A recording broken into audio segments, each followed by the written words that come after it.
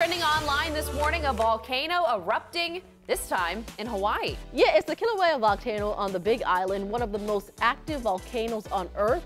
It's creating fountains up to 100 feet high. These images are amazing to see from far away. At this time, there are no threats to any buildings or communities nearby. Still, that'd be a little nerve-wracking if you're in the area. Definitely. so. Also trending right now, scientists have found a new dinosaur species in Brazil. So it's a 16-foot long predator, has strong legs, short arms. It roamed Brazil some 70 million years ago. Here's a picture of what it would have looked like. Honestly, really impressed it didn't it didn't fall over. Seriously, but you see, it was obviously built for that, though, the way it was. Um, but you know what image pops in my head every time I see that? Stop it. Don't bring up the time I dressed up as a dinosaur.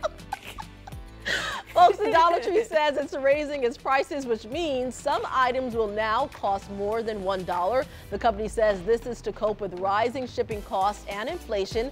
They plan on adding more $3 and $5 items to the store. You know what that means? It's a $5 store now. Exactly. That is not the dollar store. Change the name. Mm-hmm. Got to change all your branding. 51 minutes past the hour.